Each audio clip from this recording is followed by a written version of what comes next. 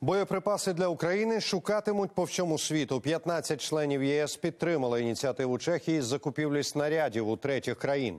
Утім, у яких держав є необхідні боєкомплекти, і коли Євросоюз відправить нашим збройним силам давно обіцяний мільйон боєприпасів.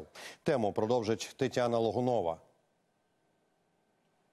Історичне рішення держави-члени ЄС погодилися поставити в Україні 1 мільйон артилерійських боєприпасів протягом наступних 12 місяців. Це повідомлення головний дипломат ЄС Жозеп Борель опублікував майже рік тому, у березні 2023-го. Сьогодні, у переддень березня 2024-го, вже ясно, свою обіцянку Європа не виконає.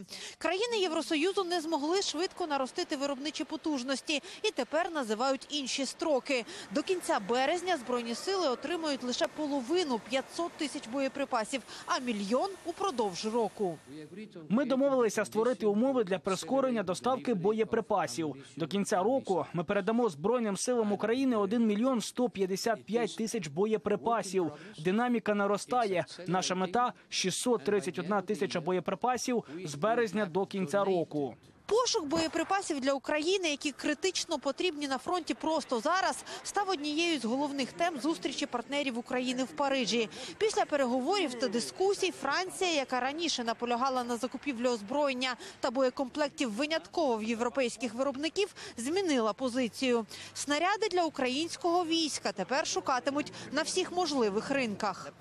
Питання боєприпасів це пріоритет пріоритетів. Ми взяли на себе зобов'язання повністю використати наші запаси і визначили треті країни, які могли б бути залучені до постачання боєприпасів. Іншими словами, Франція готова приєднатися до чеської ініціативи. Ми братимемо участь у цій ініціативі. Деталі повідомимо протягом наступних 10 днів, але ми повністю відкриті. Наша єдина мета ефективність у допомозі українцям.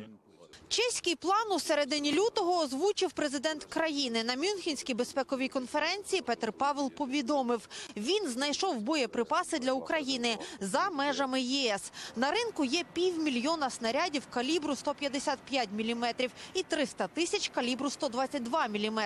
Потрібні лише гроші. У Парижі ініціативу Павела підтримали 15 держав. А Бельгія і Нідерланди вже пообіцяли частково її профінансувати. Сьогодні ввечері Нідерланди вирішили зробити внесок в ініціативу Чехії і виділити на закупівлю боєприпасів для України 100 мільйонів євро. Я сподіваюся, що інші країни зроблять те саме.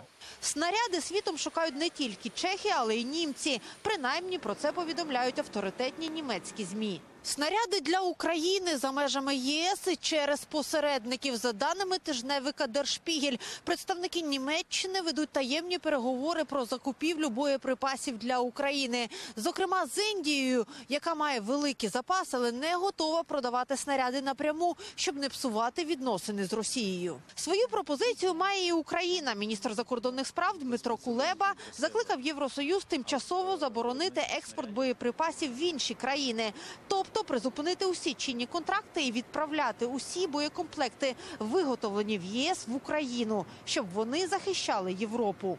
Тетяна Логунович, Слав Фролов, подробиці німецьке бюро телеканалу Інтермарафон. Єдині новини.